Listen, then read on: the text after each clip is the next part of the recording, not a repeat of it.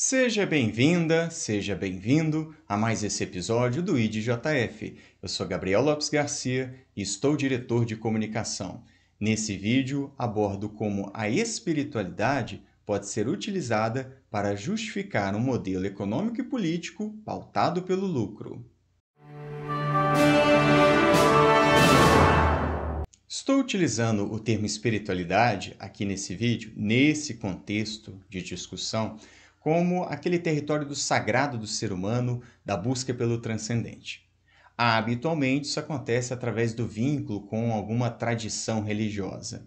Mais recentemente, devido às mudanças na organização da nossa sociedade, dos valores e dos costumes, a gente vê até que está havendo uma mistura muito mais aceita. Então as pessoas vão recolhendo, vão customizando a sua espiritualidade com trechos, com elementos de diferentes tradições religiosas e construindo sua própria colcha de espiritualidade muito bem individualizada.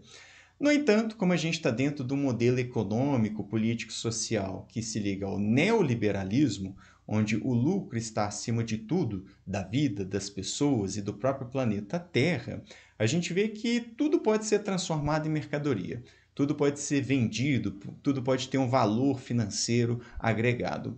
Essa busca da espiritualidade não poderia ser diferente. Em épocas recuadas da história, a gente já vê as críticas sendo feitas ao uso da religião como um instrumento de alienação social das pessoas. Hoje em dia, nós vemos um movimento semelhante, embora adaptado ao contexto de hoje, mas o fundamento da prática e da ideia é o mesmo, usado o discurso religioso para alienar o sujeito das discussões e das lutas, para transformar a sociedade, garantindo direitos básicos para todas as pessoas, garantindo uma maior equidade entre as condições materiais de vida para todos e por aí vai mas esse discurso alienante, hoje em dia, vai estar adaptado ao contexto do neoliberalismo.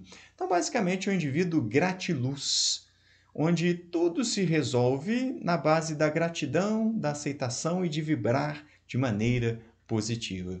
Problemas complexos da sociedade, que envolvem estrutura, conjuntura econômica, política e por aí vai, se resumem simplesmente em o um indivíduo ser grato, o indivíduo vibrar de maneira positiva e as coisas vão acontecer. Está na base também da justificativa que é criada para a meritocracia, a ideia de que os indivíduos são mais ou menos ricos, mais ou menos bem-sucedidos, a depender exclusivamente dos seus esforços e de como esses indivíduos se relacionam com o universo. Então, são pessoas geralmente de classe média e média alta, que vão fazer esse tipo de apropriação espiritual ligada com o pensamento neoliberal, e pessoas que vão estar geralmente até dentro de uma bolha ali, que não, não pegam o grosso dessa realidade mais difícil que muitos brasileiros sabem exatamente como que é. E aí é um território de gratidão infinita, de vibrar positivo, de cristais, de terapias alternativas, essa coisa toda. Muita apropriação de tradições religiosas dos povos originários, apropriação de práticas religiosas orientais, sem a devida contextualização, sem o devido aprofundamento. A gente deve estar muito atento a isso, porque é uma moda que é em placa como outras dentro dessa cultura econômica capitalista que está preocupada apenas em gerar lucro, mas que não é uma espiritualidade que mergulha em profundidade o indivíduo em si mesmo, nem o lança ao mundo para que possa ajudar nessa transformação. Na doutrina espírita, a gente pode repetir esse procedimento, a gente pode gerar essa passividade quando a gente entrega, se não o esforço somente da meritocracia, mas na ideia de que a espiritualidade resolve, muitas vezes a gente vê as pessoas justificando uma passividade dos espíritas através desse discurso, enviesando interpretações doutrinárias para favorecer o status quo.